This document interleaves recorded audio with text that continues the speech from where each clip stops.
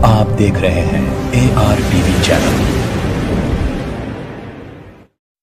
ज़िले संगारेड्डी के नारायणखेड़ पुलिस ने एक शख्स को उस वक्त जुर्माना आयद किया जब वो ऑटो के टॉप पर खड़े होते हुए पुष्पा अदाकार अल्लू अर्जुन की नकल करने की कोशिश कर रहा था।